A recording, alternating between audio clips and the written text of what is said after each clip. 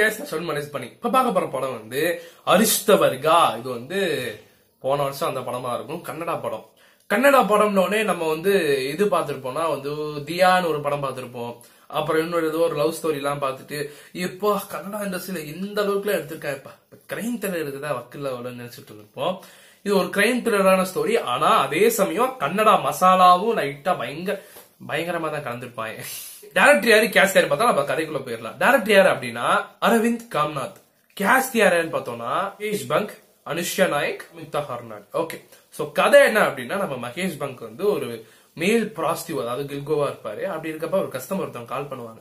கால் பண்ணோடனே வீட்டுக்கு போவார். வீட்டுக்கு போய் பார்த்தா அவனுக்கு ஒரு சர்ப்ரைஸ் வச்சுங்க கபடம் திறந்தோடனே இவங்க உள்ள போய் கபடம் கபடம் தரப்பா பார்த்தா உள்ள இருந்து ஒரு டெட் பாடி வரும். ஆத்தி இப்ப நீ மாட்டிக்கிட்ட.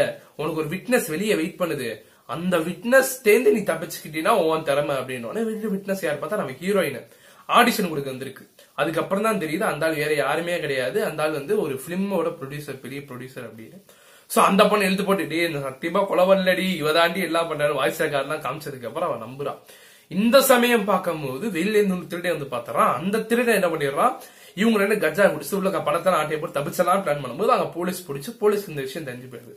ஸோ போலீஸ் அந்த இன்வெஸ்டிகேட் பண்றாங்க என்ன நடக்குது யார் இந்த கொலையை பண்ணா எதுக்காக பண்ணாங்க இவங்க ரெண்டு பேரும் யாரு உண்மையிலே இவங்களுக்கு அதுக்கும் சம்பந்தம் இருக்கா கடைசியில கண்டுபிடிச்சாங்களா இல்லையா யார் கொலையாளி அப்படிங்கறது தான் மீதி இருக்க கதை. ஆனா இதுல என்ன ஒரு சர்ப்ரைஸ் எலிமெண்ட் செம்ம எலிமெண்ட் அப்படின்னா போலீஸ்கார் இருக்காரு பாத்தீங்களா அவன் போலீஸ்காரரு இவர் கேம் ஆடுவார் பாருங்க. ஃபர்ஸ்ட்ல இருந்து கிளைமேக்ஸ் ஒரு கிளைமேக்ஸ் ஒரு அஞ்சு நிமிஷம் முன்னாடி வரைக்கும் ரொம்ப பெரிய ஹீரோவாகவும் ஒரு இன்டெலிஜென்ட்டாகவும் செம்ம காப்பாவும் காமிச்சிட்டு கிளைமேக்ஸ் ஒரு கரப்டுக்கு ஒரு ஒரு டிரான்ஸ்ஃபர்மேஷன் கொடுப்பாரு பாருங்க. செம்மையா இருக்கும் செம்ம வேற லெவலா இருக்கும். அது வரைக்கும் அந்த இன்வெஸ்டிகேஷன் ஸ்ட்ராட்டஜிஸ் சரி ஒரு ஒரு பிளாட்டுமே டிஃபரன்ஸா இருக்கும். பட் மசாலாங்கிறது பயங்கர மசாலாவா இருக்கும் கன்னடா மசாலா பட் அதையுமே தாண்டி வந்து இன்ட்ரெஸ்டிங்கா போகும்போது வந்து உண்மையிலே இந்த படத்தை அடிச்சுக்க முடியாதுன்னு வச்சுக்கோங்க எனக்கு தெரிஞ்ச கன்னட படத்துல ஒரு சஸ்பீஷியஸ் படம் அப்படின்னு பார்க்கும்போது இது நல்லா இருந்துச்சு.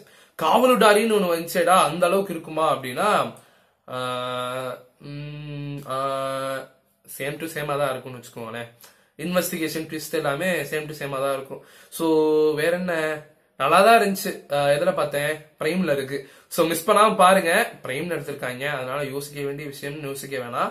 நல்லா தான் இருந்துச்சு. மொக்கைன்னு சொல்ல முடியாதுங்க. ராதைய படத்துக்கு நல்லா இருந்துச்சுங்க. ஸோ இதே மாதிரி நல்ல ரிவ்யூல இருந்து பார்க்குறேன். அது வரைக்கும் டாடா பாய்